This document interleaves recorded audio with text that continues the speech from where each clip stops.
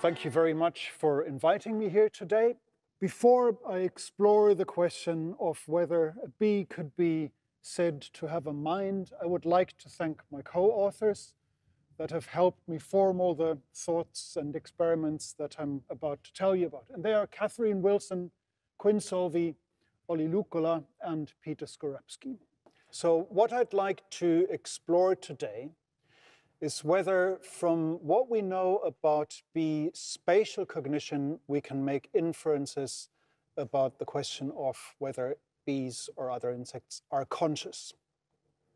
So what I mean by that is that there is some form of mental representation of things, of space, and of things in space.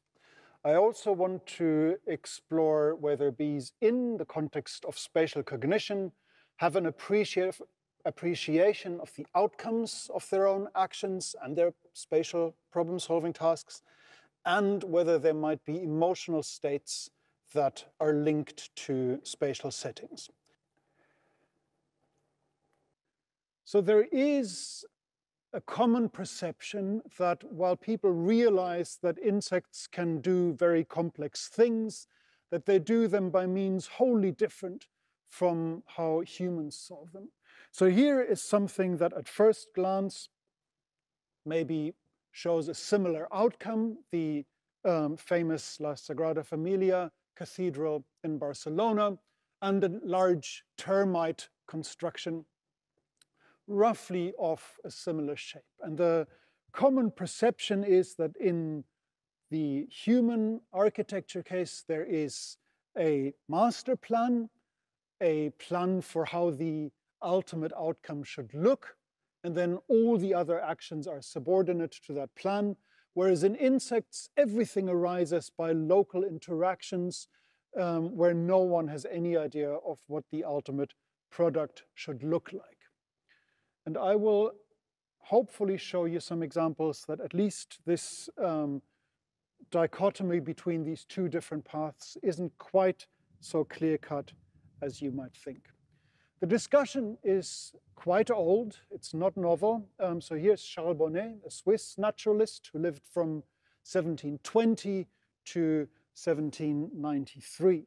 And Charles Bonnet had the following to say about self-organization in the bee colony and the, the possibility of how one might construct something as marvelous as the um, hexagonal structure of a honeycomb shown here on the bottom left. He said this, place together in the same room 10,000 automatons animated with a living force, and all induced through the perfect resemblance of their outer and inner being. If we admit the least degree of feeling in these automatons, even only such as is necessary for them to be conscious of their own existence, seek their own conservation, avoid noxious things, prepare useful things, etc., their work will not only be regular, well proportioned, similar, equal, but it will also have symmetry, strength, convenience to the highest point of perfection. So it's interesting here that Bonnet sees the idea of there being a consciousness and feelings sort of as something primitive, as something given. But he still calls them automatons and thinks that somehow by just putting all of these conscious automatons together in the same room, something as magnificent as this honeycomb structure might arise just naturally. Now, I do not think that it's quite so simple. Of course, there have been quite a few crude human experiments in stuffing 10,000 animals together in the same room, as you can see in this chicken battery farm. And for some reason, something as regularly structured as a honeycomb or any form of architecture clearly does not emerge just by itself. So you need a little more than just uh, stuffing lots of animals, perhaps conscious animals, together in the same room to arrive at any form of animal architecture. So many people have mused that there is something remarkable about this extremely regular construction of honeycomb. You can see a honeycomb under construction. Here there are dozens or hundreds of individuals of bees participating in this process. It's a mathematically perfect solution for honey storage, for brood storage, um, in terms of minimizing materials and space used and so on. It's also double-sided, so on both sides you can store larvae and, and honey and so on. And typically the structure is started at the ceiling of the, the hive and then gradually the bees work their way down until they've reached the bottom. But another Swiss naturalist, François Huber, um, explored the inner workings of the hive centuries ago and made some very surprising discoveries. So he experimented with glass hives to see what the bees might do inside the hive while they're constructing their beautifully regular honeycombs. And what he found was the first thing that if he introduced a glass ceiling into the hive, is that the bees didn't particularly like attaching wax comb to glass. So surprisingly, that didn't perturb them much because they simply then inverted the entire construction process 180 degrees.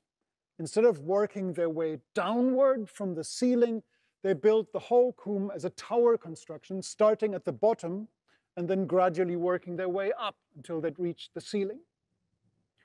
Now, it's still a very repetitive process, but if you'd programmed a robot to do exactly the same as the honeybee does, working down along gravity, that robot would already fail at this particular challenge unless you told the robot to be able to invert their procedure uh, in its alignment with gravity. But the next experiment was even more surprising. So Huber, when he discovered this flexibility in bees, then introduced a glass bottom in addition to a glass ceiling. And what he found in that case is that the bees would start on the side wall of the, the hive and extend the comb construction laterally through the cavity that he had provided the bees with. What Huber did next was the really surprising result. While the construction was in process, so the bees had been ha built halfway through the cavity, he then put a glass obstacle in the projected path of the growing honeycomb. Okay, so the bees had already built their two-dimensional construction almost or uh, halfway through that cavity, and then suddenly there was an obstacle that the bees would have perceived, perhaps if they explored further in the linear direction of the growing honeycomb, found that it must have been suboptimal because what happened was that the bees then, before actually reaching the suboptimal surface, would build a 90 degree kink into the comb and attach it to the nearest sidewall. So they avoided projecting from the geometry of the current um, construction that there might be uh, a suboptimal outcome several days down the line. It takes a long while to build honeycomb. They projected and anticipated, or seemed to have anticipated this suboptimal outcome and took uh, corrective action before it materialized and um, built this strange curve construction. And Huber, 200 years ago, um, said, I acknowledge that I could not suppress a sentiment of admiration for an action in which the brightest foresight was displayed. So Huber thought that bees have a kind of master plan, an idea of what the desirable outcome of their comb construction might be like. So the way we nowadays study bee orientation, we have a tool called harmonic radar, which is the equipment that you can see rotating here on the right, which contains a dish that sends a signal, which in turn is bounced is sent to a bee, and with this so-called transponder, the bee bounces it back so the top dish can pick it up, and in that way informs us about its location. And in that way, we can monitor bees' orientation from their maiden flight, the first time they ever leave the hive, to their death, essentially, and monitor where they've been all their lives. And just to um, make you appreciate the general challenge. Of course, human-made environments in general, compared to natural environments, are relatively easy to navigate. And that's because we build landmarks, buildings that are meant to be unique and memorable. If, on the other hand, you consider a typical bee's environment, so here's a typical bee's environment, then what you see that everything looks a bit the same. Um, so a typical bee's challenge might be that there is a nesting site somewhere under this particular tree, and several kilometers away, there might be a location over here where there's good pollen to be had, and another location over there behind that hill um, where there might be particularly good nectar. And so there's a lot more similarity between perhaps familiar landmarks than there is in any kind of city. So if you've ever navigated an environment like this without a map or without sat-navs or without help from others, then you can sort of appreciate the challenge that um, navigating insects face in natural environments. And so what we can do with our fancy radar equipment is we can essentially take the view from the cockpit of a bee and see how she sees the world as she's navigating around her environment. So this is actually a reconstructed bee view from one of our radar tracks. You can see here the, um, the slightly boomerang-shaped um, eyes of the the bee and the view through them. So the view is relatively coarse pixeled and a bee sees a lot fewer um, pixels, so to speak, than a human does, but on the other end, um, she can see more rapidly. And the reason why this, these images are very distorted is because bees have pretty much all-round vision. What we can also do in this case is we let the bees to their own devices and um, do not pose them any particular challenges Instead, we let them roam freely. We let them explore their environment as they see fit and discover flower resources to forage from. So what we see here in green is one individual's maiden flight, the first flight that she's ever made in her life. And you can see that there are various loops in various directions from the hive location, which is marked here in blue. In red, by the way, it's the, the second bee's um, exploration flight.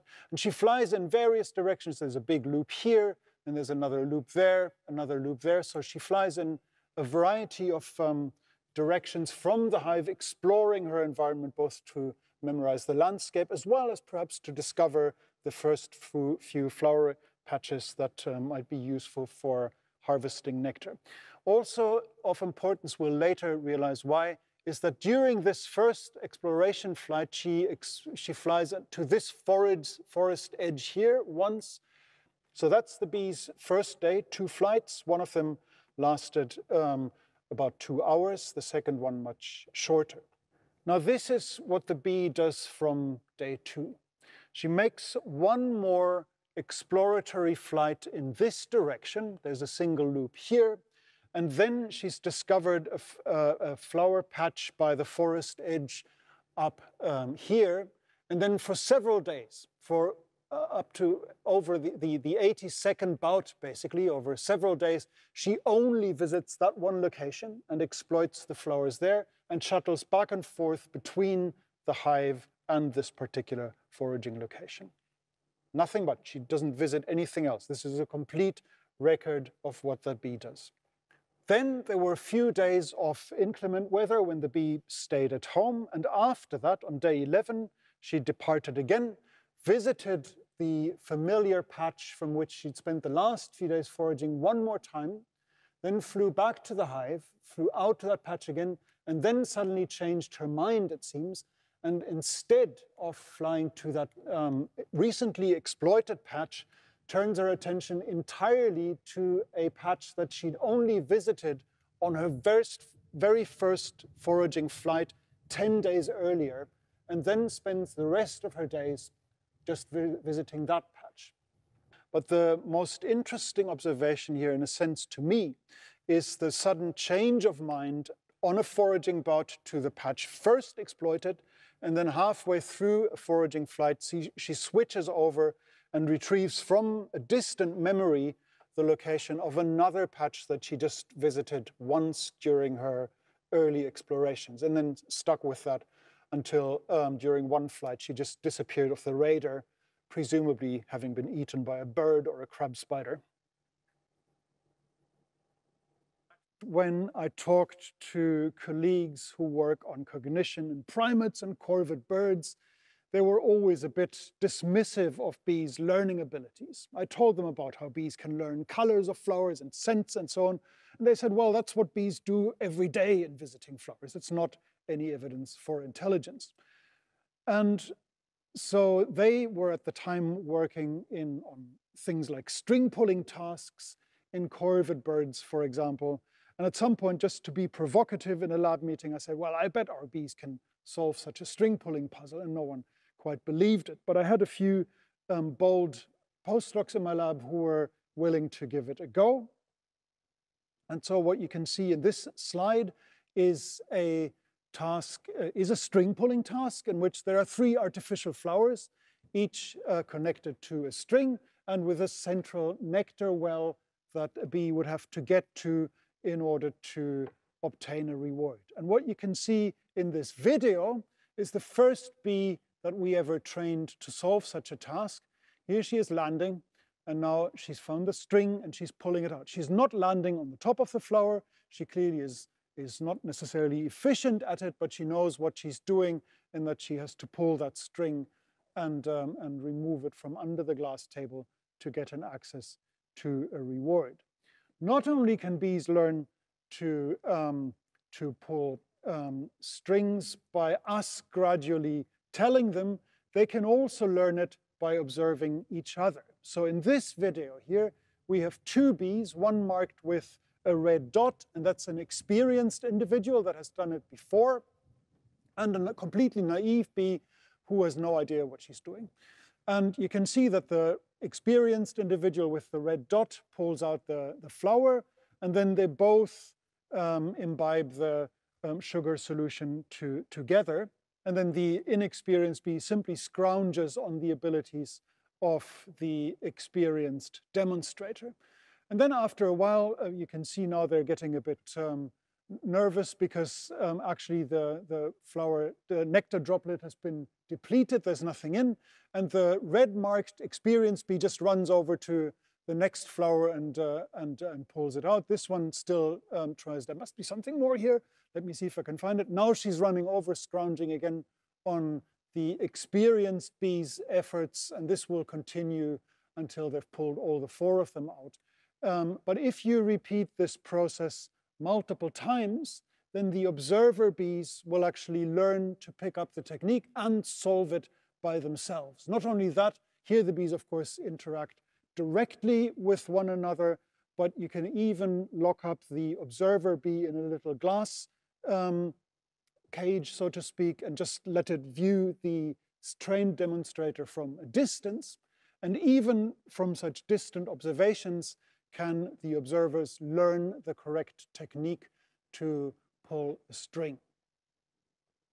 So in the next slide, we can see one dot for each individual bee. So at the top there is number 31, that's the, the first demonstrator bee. And in this video, we can see how the technique of string pulling spreads through an entire colony. So you can see there are little lines appearing now. Each of these lines marks one interaction, one pairwise interaction between a trained demonstrator and an observer bee. Moreover, you can see now some of the other dots are turning colored, and they turn colored when the interaction has resulted in the demonstrator being able to solve the task by herself. And so now there's a good number of bees that have all been trained by yellow 31 at the top there, and all the ones that have turned orange actually can do it by themselves. And as this goes on, there are now interactions between bees who are not the generation one learner. So here now is a, a, a purple bee that, and that color tell, marks that this bee has not learned the technique from the original trained demonstrator, but a second generation bee. And as this process continues, more and more bees, here's another purple bee now, learn the technique from second generation demonstrators. And in fact, as the process continues and gradually all bees learn the technique, ultimately even the original demonstrator passes away and the, the technique continues spreading through the colony. So there is, in the end, a whole colony of string pulling foragers. So there is a kind of cultural spread of this string pulling technique through an entire bee colony. For the next experiment, I will let Jane Goodall do the introduction.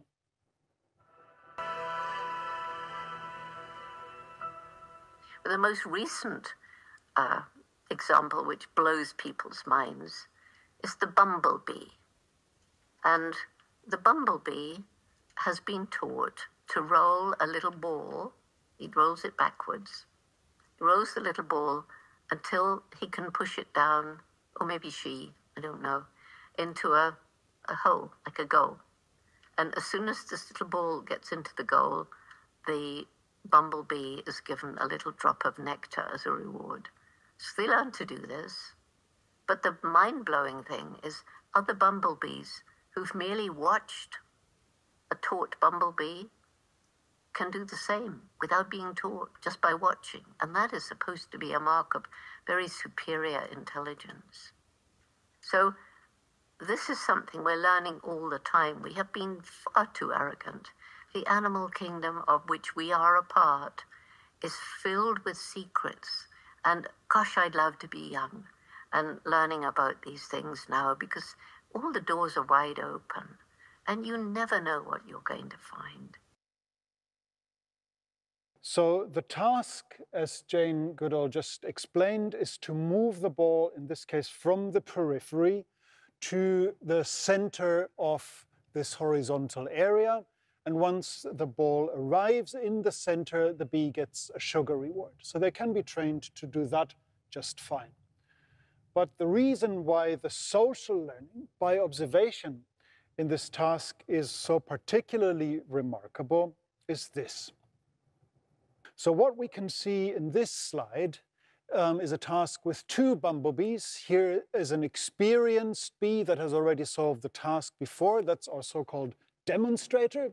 And then there's an observer, which has never solved that task before, so she's entirely naive. And when the two bees get together, this is what happens. If you, um, so you can see here the experienced bee rolling the ball to the center, and then they both get a little sugar droplet as a reward. Now, obviously, the logical way to solve this task, if all you need to do is to get a ball into the center, would be to pick the closest ball um, that's closest to the target area and move that to um, the center. But we've played a little trick. The experienced bee, the one that you've just seen roll the ball into the center, actually knows that the two closest balls, this one and that one, cannot be moved because they're glued down. So that bee knows I have to pick the furthest ball, so the least optimal one to move to the target area. And so for three times, the naive observer gets to see that. It gets to see the, the demonstrator bee use the furthest ball, moving it into the central target area. So what we see in this slide now is the observer being alone. This observer has seen the demonstrator solve the task three times, and every time the demonstrator used the furthest ball. Now the observer is on her own. Will she pick the same furthest ball, or will she solve the task in a better way and pick the closest ball? And she picks the closest ball. So she's not simply copying the demonstrator exactly, she actually seems to have a form of understanding of what is the desired outcome of her actions. And rather than simply aping the demonstrator, she picks the optimal ball to solve the task. Okay, so our next question is, can bees picture things? Can they imagine things such as a flower's shape and so on? Now, bees are, of course, famously good at recognizing flower patterns, but it's actually surprisingly difficult to find out whether there is such a thing as a mental representation of a flower, even if an insect recognizes it, because often it turns out it can be, that flower patterns can be recognized with simple feature detectors that analyze edge orientation and so on. So in our following experiment, we asked if bees can actually draw on a representation of a particular shape through multiple different sensory modalities, which would be more of an indication of a mental representation of shape than just recognizing a shape in the visual modality. So what we did initially is we trained the bees to distinguish two different shapes, balls and cubes, but in this case they could not touch them. They could only see them through a plexiglass lid, and one of the shapes, in this case the ball, was associated with reward. That means a little reward of sugar, sugar solution, and the other, in this case the cubes, was not. And then the same bees that were trained in this manner were now presented with the same shapes in complete darkness, where they couldn't see at all, but in this case, they were allowed to touch these different shapes. And in this case, when the bees had first been trained to see and be rewarded over balls that, however, they could not touch in the light, then if the same bees were tested in complete darkness, then they chose the balls over the cubes only using the touch modality. So, so they could recognize the same object in a different sensory modality. And we then also reversed this experiment where we first exposed the bees to the same shapes in complete darkness, as shown in this photograph here. We used infrared light, of course, to monitor the bee's behavior. And you can see that the bee here is, is sort of hugging the ball while she's imbibing the sugar solution reward. The cube, in this case, was unrewarding. And then in the same manner, we switched the situation to one in which they could no longer rely on the touch modality, but on vision. However, again, in this particular experiment, the bees could not touch the shapes as they had during training, but only see them. And sure enough, the bee again, after being trained to the round shape in darkness, when she faced the same shapes in the light, picked the balls over the cubes. So in both of these scenarios, they picked the correct object in a different sensory modality, from which we conclude from this kind of flexible access through different sensory modality that indeed there must be a kind of mental representation of the shape of an object. Do insects have emotions? Charles Turner did at least take this possibility seriously. I invite you all to read the papers of this man. He lived from 1867 to 1923. He was a, an entomologist as well as a psychologist, and his literature is extremely rich with visionary ideas that unfortunately have been largely forgotten today. But it's remarkable also that he actually did consider the possibility of these digger wasps having emotions. So this is a photograph by him from one of his papers in 1912, and he writes this, the coiled antenna, the protruding mouth parts, and the general attitude indicate intense excitement. One who believes that insects have emotions will find much in the attitude of these two Ammophilas to support his view. Now, Turner was aware that this was merely an observation. It was not an experimental exploration. He has very rigorous experiments in many of his other papers, which I would strongly encourage you to read. But how might one test emotions in insects experimentally and quantitatively? Well, we chose to use a paradigm that is simply borrowed from vertebrate research. It is basically asking whether an animal's or an individual's glass is half full or half empty, as symbolized in this little um, photograph here. So an optimist would judge this ambiguous situation as being glass half full, and the pessimist, faced with exactly the same situation, would say it is half empty.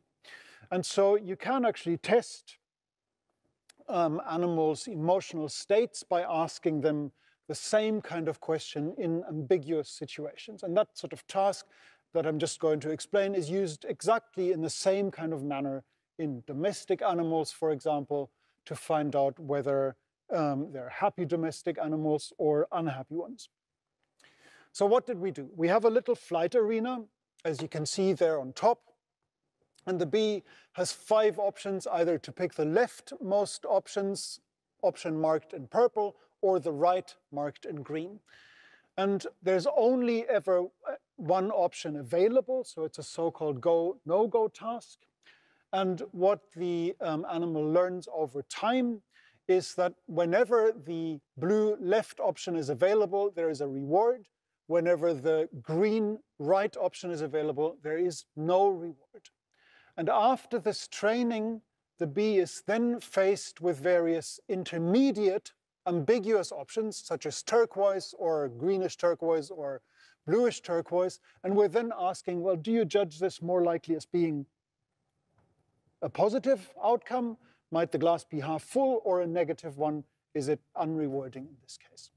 So here's the training in simple forms, what the bee does when uh, she's learned that, that um, the, the blue left option is rewarding. She flies there in a straight line.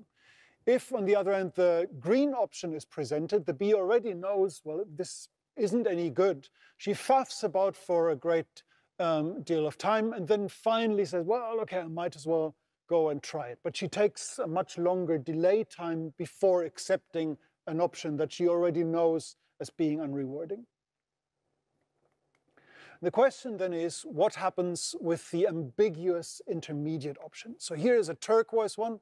And again, when we um, present the bee with the turquoise option, we then measure the delay time that it takes her to accept that option. And interestingly, that delay time depends on something that happened before this experiment. It depends on whether we gave the bee a little sucrose um, droplet as a surprise. So here she gets five microliters of a surprise droplet of sucrose in the run-up to the experiment before she even enters the arena. And in the control group, she um, gets nothing. And it turns out that the way the bee judges this ambiguous situation, turquoise, depends on what happened before she even started the experiment. And that's shown in this graph on the right side here. So when the bees face their familiar rewarding option, that's P on the right, the delay time is invariably very short. They fly straight there. If, on the other hand, the, um, the green right option is shown, that's shown on the right here, invariably the bees will delay for quite some time before accepting that option. But for all the ambiguous options, so turquoise being in the middle, there is a difference depending on what happened before the experiment. So if the bees, before starting the experiment, had their little surprise reward, ooh, there's a sweet that I've never seen here before, they tend to accept the ambiguous option faster, that's our red line here, than they would otherwise. So if there was a surprise reward before the experiment, the bees accept the intermediate option more rapidly. So they behave in this glass half full, glass half empty, in this ambiguous situation more optimistically if they've had a surprise reward before entering the experiment. And you can do, of course, the same with adverse stimuli, in which case the bee will behave in the opposite way. So there is, by the same criteria by which we judge mammals, domestic animals, as being emotionally biased in either a positive or a negative direction. By the same criteria, bees could be judged to have simple emotional states. Now, a final question might be whether insect brains aren't just too small to contain anything such as a mind. Aren't they just too simple, too undifferentiated? And undoubtedly, bee brains are extremely small, you know, the size of a bee head. And of course, the brain is substantially smaller than that, roughly one cubic millimeter. And indeed, they contain relatively few neurons, certainly compared to the 80 billion that a human might have. So roughly 850,000 neurons in a bee's brain. Here's a portrait of a frontal view of a bee's brain. So even though insect brains are small and the number of neurons are few, they are by no means simple. So here's the structure of a single neuron in a bee's brain. And you can see that it's about as finely branched as a fully grown oak tree. Extremely wide ramifications through all regions of the brain, including the antennal lobes and the mushroom bodies and so on. That is just a single neuron. And it turns out that this neuron largely constitutes the reward pathway in the bee's brain. So each single such neuron might make connections with perhaps 10,000 other neurons. And from that, you can deduce that there is an extremely finely grained and, um, and detailed neural network across the bee brain.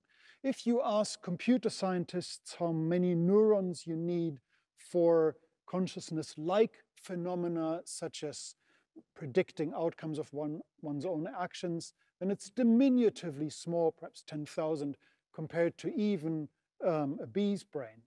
There is at least some suggestive evidence to indicate that insect brains might support consciousness. One comes from the neurobiology of a central complex, whose most important and well described role is in navigation, but it also integrates information from external stimuli, internal states such as motivation, and past experiences, and could thus represent a kind of neural model of the familiar space around the insect as well as of the self, as for example suggested by Barron and Klein in a 2016 PNAS paper. In the same vein, some jewel wasps, parasitoid insects, sting cockroaches into the vicinity of the central complex. And this has the effect of turning them into something like behavioral zombies that have still got reflexes and they can still walk, but they lack any form of self-initiated action as might be generated by a will, for example. Interestingly, also, Bruno van Swinderen's team has shown that analogous to vertebrates, insects have several types of brain waves that correlate with the state of wakefulness or sleep. Several sleep phases are also well described by such brain waves. And crucially, more synchronized brain waves across brain areas occur in awake states perhaps facilitating the kind of cross-modal cognition that we've heard about earlier. And finally, there are neural correlates of attention. Attention is a form of inner eye focusing selectively on certain stimuli, but not others. And th these investigations also show, showed brain states that precede the bee's selection of one or another stimulus. That's also work from Bruno van Swinderen's lab.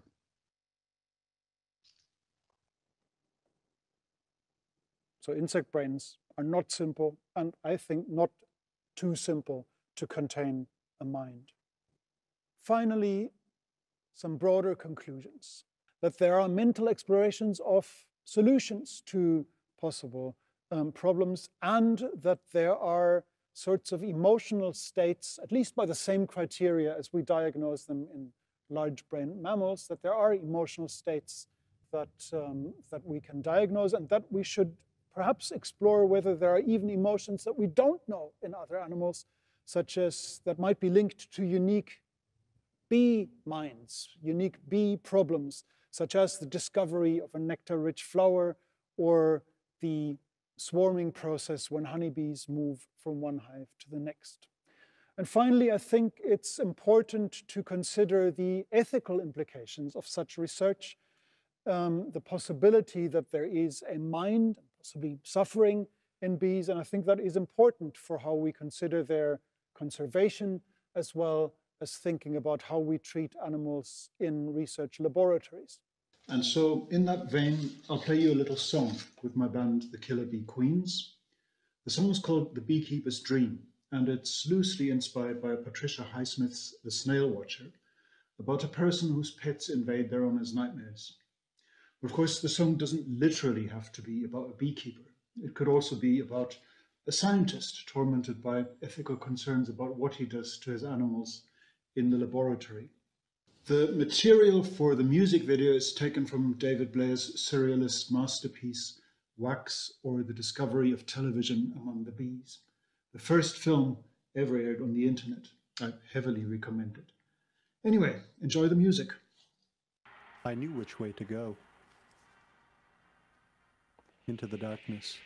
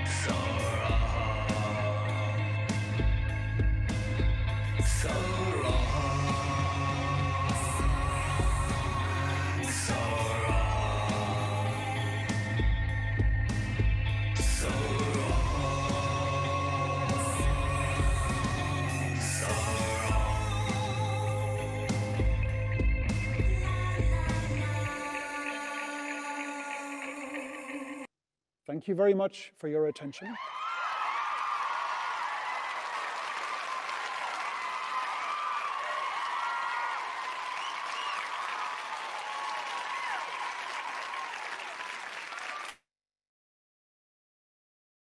We've got really uh, a lot of questions uh, for you, Lars. Um, I just hope that uh, we can get through a reasonable number of them. I'm sorry, uh, apologies to anybody whose question uh, we don't manage uh, to get to. So um, I'll just start off with one of the very early questions that was asked, uh, Lars. It was, this is a question about the foraging or slides that you showed at the beginning when you showed the tracks uh, of the bee changing uh, from 11 days onward. And the question is, is from Jim Monag, and it, the question is, uh, could this be due to a change in the availability of food?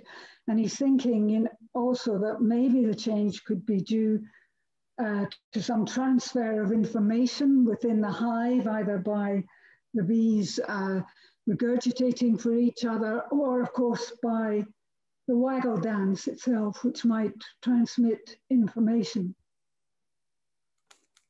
Sure. Just briefly, it seems that the host has turned off my video, so I can't currently show myself.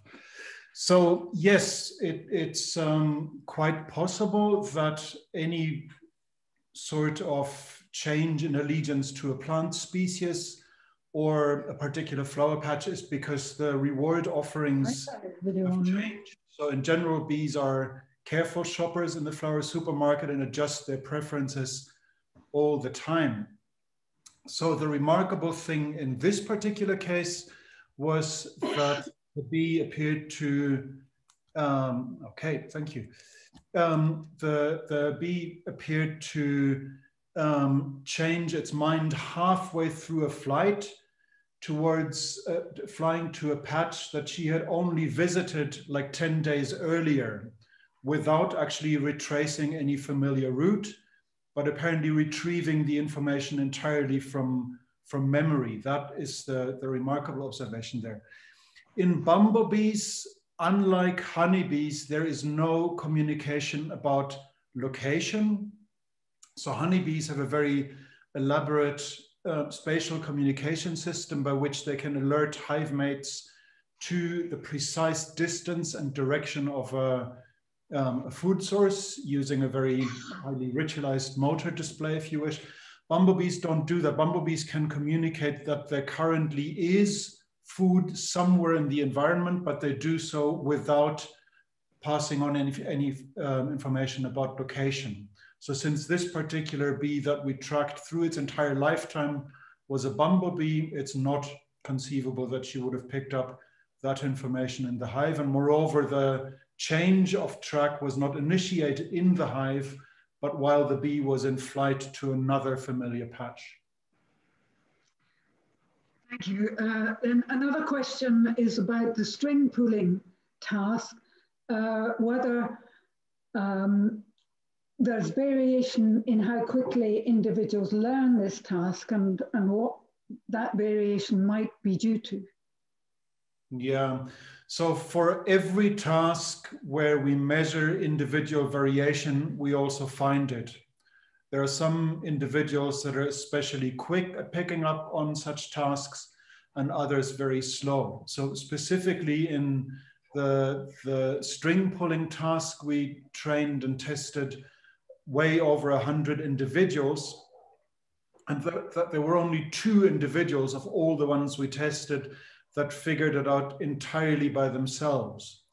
All the other ones required stepwise training, either by observation of other um, informed bumblebees or by us in a step in a stepwise training procedure where we had to gradually push the the blue disc under the glass platform. There were just two individuals that did, did it spontaneously.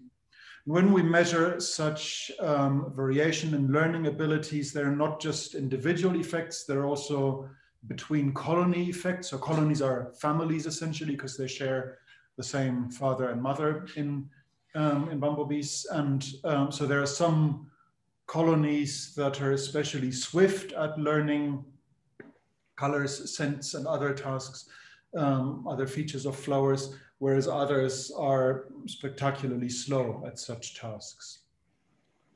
Okay, and, and while we're on variation in in learning speed, there was a question that I had. Of course, all these workers are females. Correct. Um, and so I was wondering if the male bees, the drones, who don't really seem to do very much at all, Uh, are they poor learners or can they learn anything? Yes, they can. Um, so there are some between species differences. In honeybees, uh, the males are indeed spectacularly incapable of doing anything much but mating. Um, they even have to be fed by by workers because they can't um, feed themselves. But even in um, in the the male honeybee, they do remember their home, so they have to navigate successfully to mating sites where they meet with queens and then find their way back. So they're still um, they still have to have a very good spatial memory. Um, in bumblebees, however, males also visit flowers, so they have to remember which flowers are the best, the most rewarding ones, and the colors and the scents. And we actually did some color learning experiments with um, with uh, bumblebee males, and surprisingly, they were actually as quick at picking up the contingencies between colors and rewards as were workers. Mm. So they're not not as dense as one might think. Good to know that. Um, a couple of questions in connection with the consciousness issue and the possible emotional states. Um, one question is, might, uh, is there any sign of any dream-like states in bees in connection with sleep? Um, and if they can be said to have consciousness, uh, could we say they had free will? That's a very interesting question. Um, so the, I mean, it's very hard to know if any animal is dreaming. There is some interesting evidence, for example, from um, rodents, where people record simultaneously from many dozens of nerve cells while the animal is both awake and navigating a spatial environment and then um, um, then they can still record from the same brain cells during the night. And it seems indeed that these rodents replay spatial experiences from the day before. We don't have that level of um, um recordings in bees, in part because we can't um, or people cannot do neurophysiological recordings very easily from freely moving animals.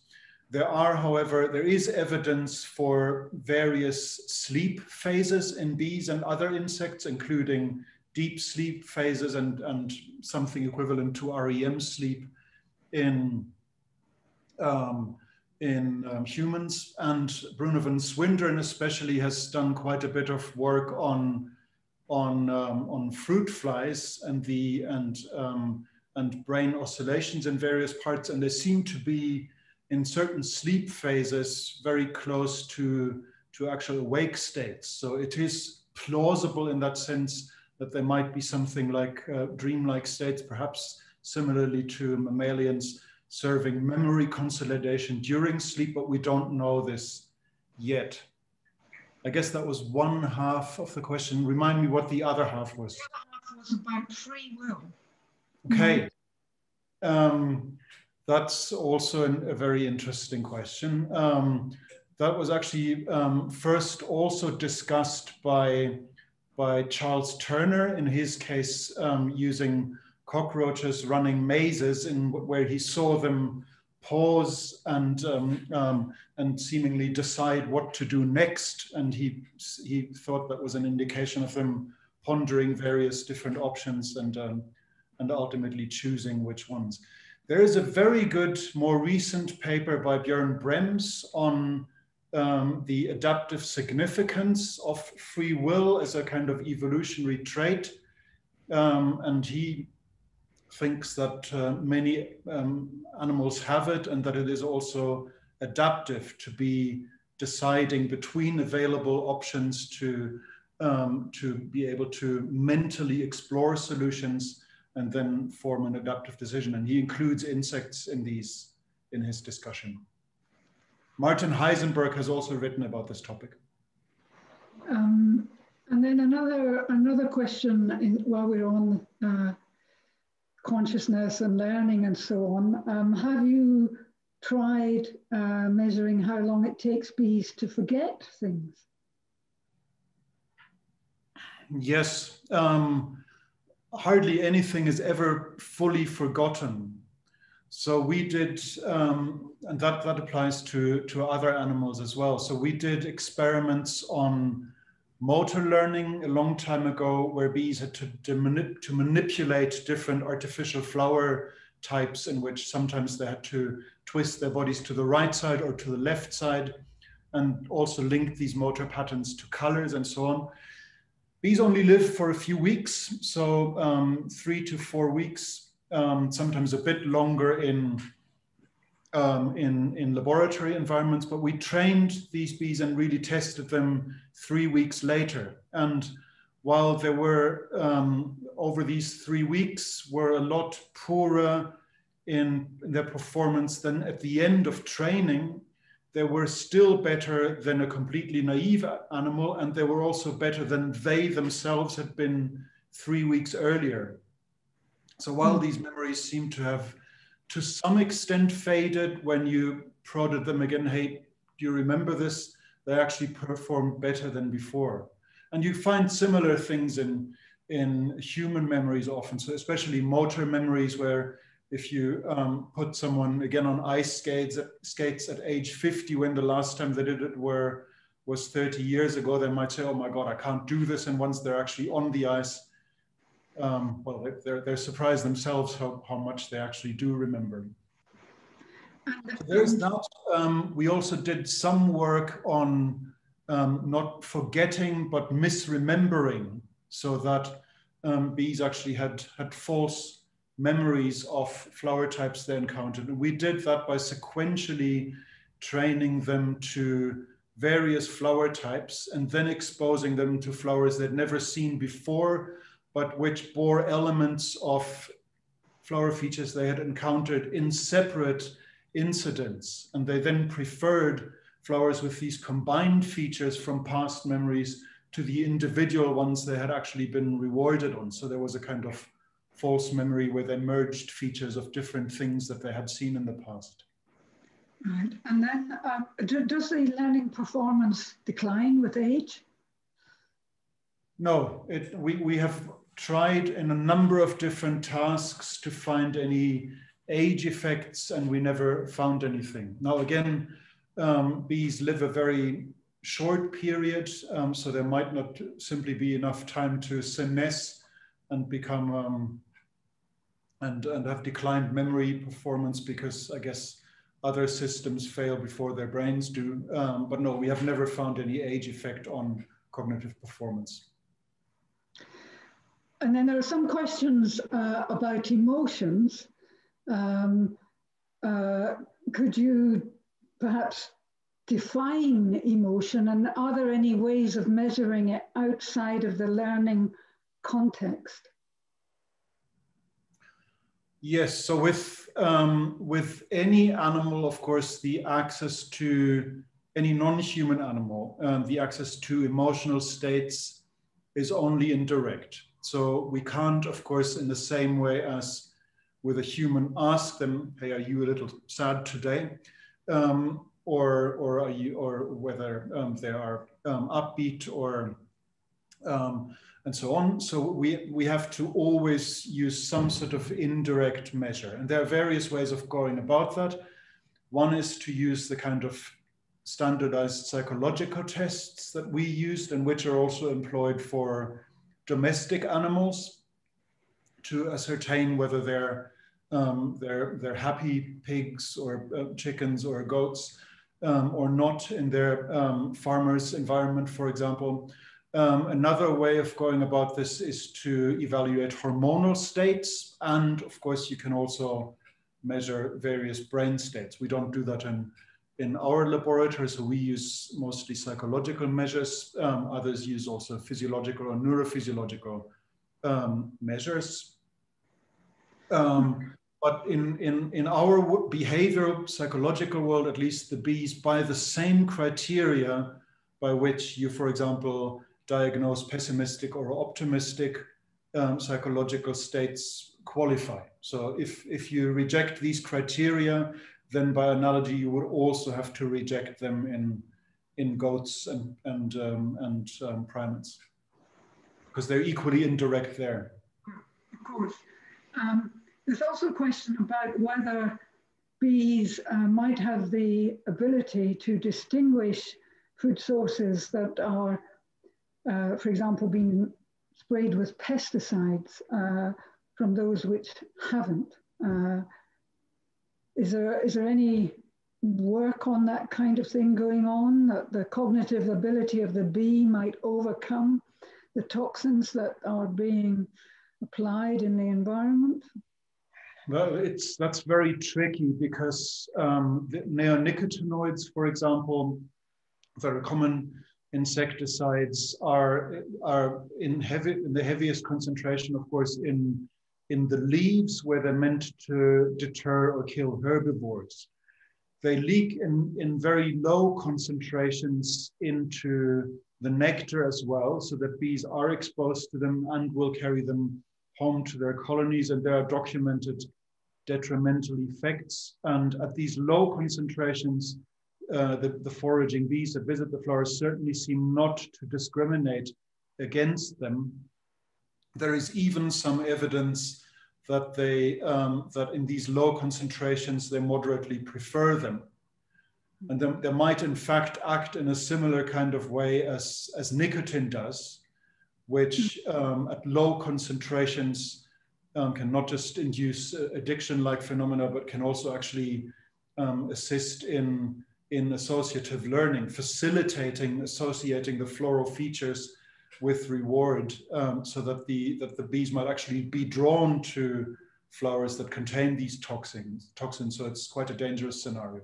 They, they, do, they do not seem to um, close the full loop of realizing aha there's some harmful effect um, going on in our colony if i carry this stuff home. On the contrary there's they're either neutral about it or there might there is actually evidence that they um, preferentially collect such nectar Okay, and then there's also um, a, a, couple of questions in connection with the difference between solitary bees and, and you know, the colonial hive forming bees. Uh, is there a difference in their learning capacities? And might there be any collective consciousness of bees in the hive that uh, could be studied in some way? Right. So in you're you're right the, the vast majority and many people don't know this so it's worth highlighting the vast majority of bee species tens of thousands of bee species are actually solitary not social um, these bees however share with the social bees the fact that they all have brood care so they um, they feed their young they have nests whose locations they must remember, and they must, of course, also forage adaptively. That means remember good flower patches and so on.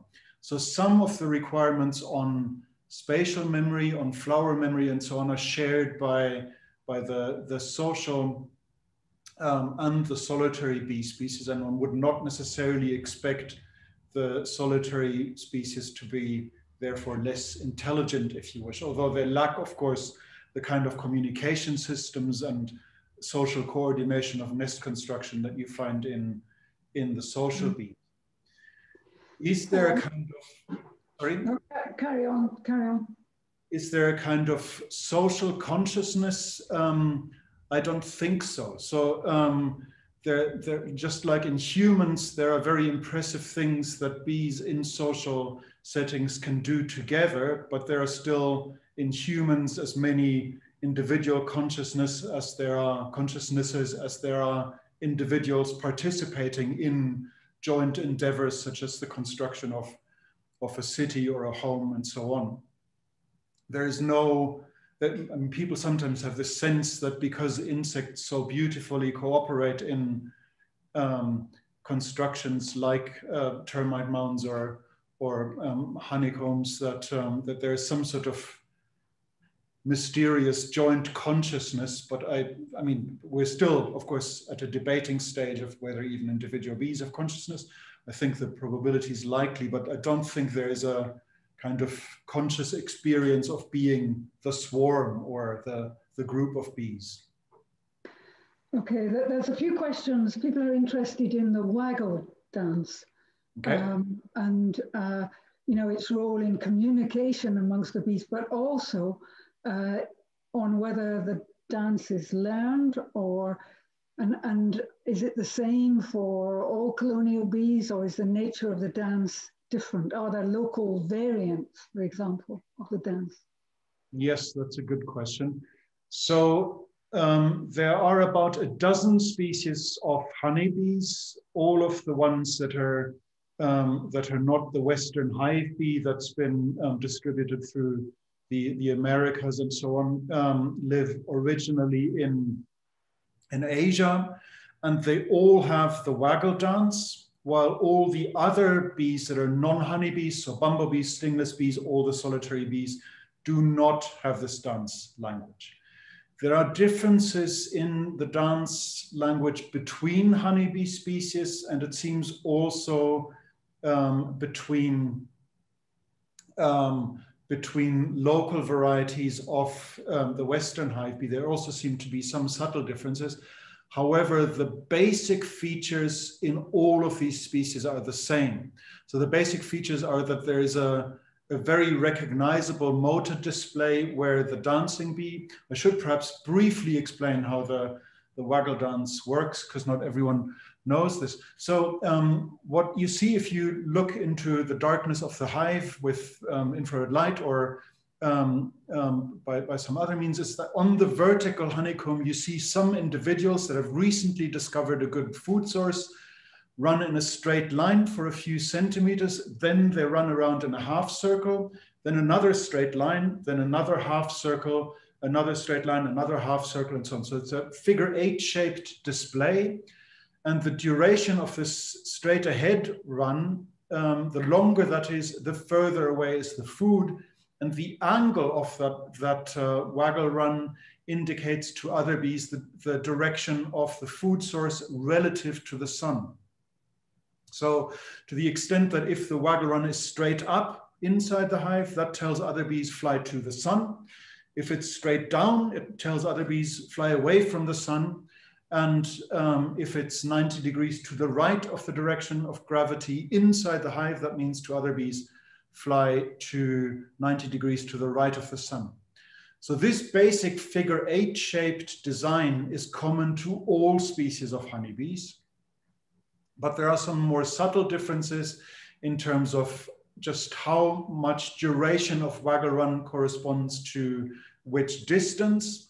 And there are also some honeybee species where this whole dance is performed on a horizontal, not a vertical surface and so on. So there are some subtle differences. Um, it seems that this um, behavior is largely innate, so all bees can do it without further encouragement or training, and, and bees can also understand um, the waggle dance without the need for being trained in it. However, there's been some fascinating uh, work um, where people have merged two different species of honeybees that have two different distance codes. So that let's say one centimeter of waggle run means means flying 1.2 kilometers away from the hive in one species and only 800 meters in another species. So they should misunderstand each other. But it seems that over time of mixing these two species together, they can actually learn to read each other's uh, waggle dances. So that apparently there must be some recalibration. Perhaps bees of the wrong species initially overshoot the target, find, okay, but I, I must have misread that and then zero in on the correct location, perhaps after some search, and then recalibrate their reading of that other species down. So there is, there can be some learning evolved even involved even in this largely hard, hardwired routine.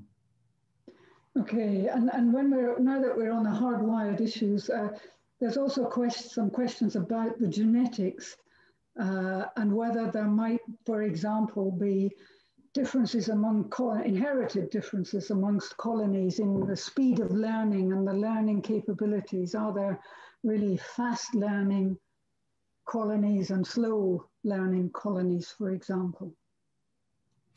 Yes, um, so there are in, in bumblebees, we have done experiments where we measured multiple individuals per colony's learning speed and then also um, took, after we had done these laboratory experiments, took the same bee colonies and let them forage in the wild. And it turned out that the faster learning ones were also superior in their foraging performance at natural flowers.